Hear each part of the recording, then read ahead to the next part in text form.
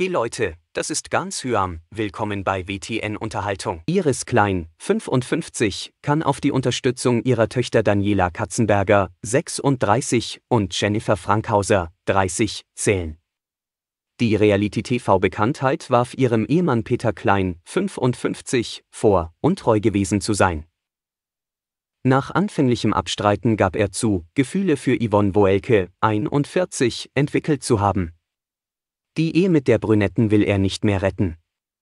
Deshalb lässt das Paar sich nun scheiden. Iris zieht jetzt aus, da muss sie aber nicht alleine durch. In ihrer Instagram-Story teilte Iris, Tochter Dani, ein Foto von Tüten und Umzugskartons und markierte ihre Mutter, auch ihre Schwester hilft offenbar tatkräftig beim Umzug. Jetzt ist es endgültig. So unreal. Wie konnte das nur passieren?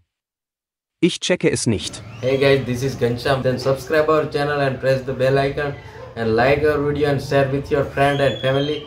Thank you very much for watching our video. Thank you.